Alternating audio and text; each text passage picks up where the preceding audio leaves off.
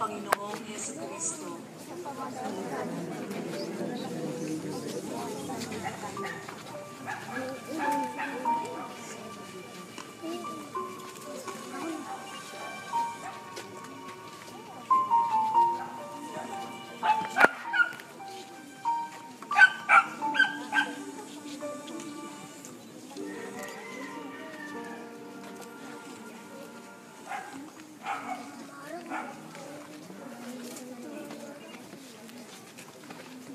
Ano, Kristo? Kaya ba ka? Kaya mo ba ba? Pasdan mo ang mga taong ito. Yan ang mga tinulungan mo. Yan ang mga pinagaling mo. Pero, sila ngayon ang nagpapahirap sa'yo. Ano, hari? Kaya mo pa ba?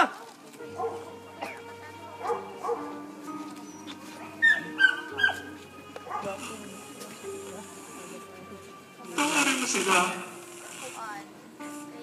Sapagkat hindi nila alam ang kanilang ginagawa. Hindi ba? Ikaw ang Mesiyas? Ligtas mo ang iyong sarili. Pati na kami.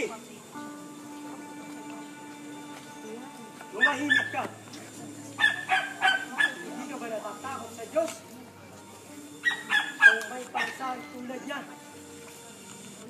Matuwid lang tayo parusahan ng ganito dahil sa ating mga ginagawa. Ngunit, ang taong ito'y walang ginawang masama. Jesus, alalahanin mo ako kapag nagakari ka na. Sabi ko sa iyo, eh, na hindi sasama kita sa paraiso.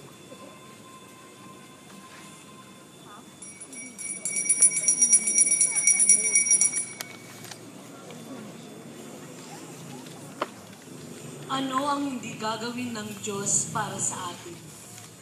Magpakumbaba tayo at magkaroon ng pananampalataya.